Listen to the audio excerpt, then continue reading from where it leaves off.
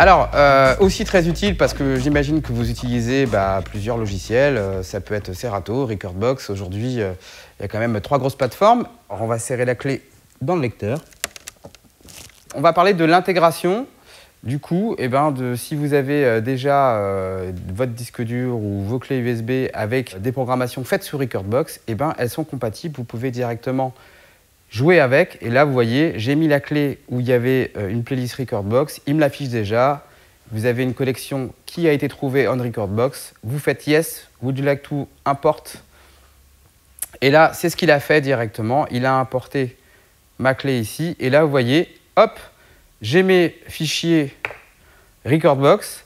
Ce qu'il va faire, c'est il va analyser le morceau. Il est déjà en train de le faire, mais surtout, ce qui est très important pour vous et pour moi, c'est quoi bah, C'est de pouvoir retrouver tous ces points Q et toutes ces loops pour ne pas perdre bah, le travail que vous avez fait euh, depuis euh, hyper longtemps, vous avez rangé vos morceaux, mis, des points de départ, etc.